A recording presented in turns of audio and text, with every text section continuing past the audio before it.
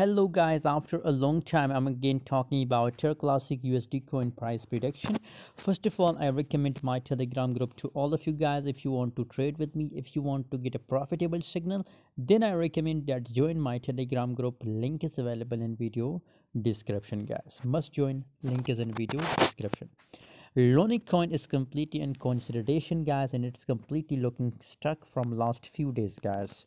Negative 2.53% gains in last 24 however the chain is also going negative.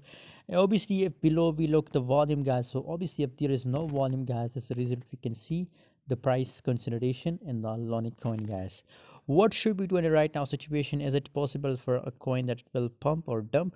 According to my own view guys there is 70 to 80 percent possibilities for a LUNC coin that the price will dump guys because surely now there is no volume guys and the volume is decreasing guys so surely we are expecting a dump in a LUNC coin guys that it will again goes to this support level guys so we have to right now we have to wait for the confirmation of the breakout with this level.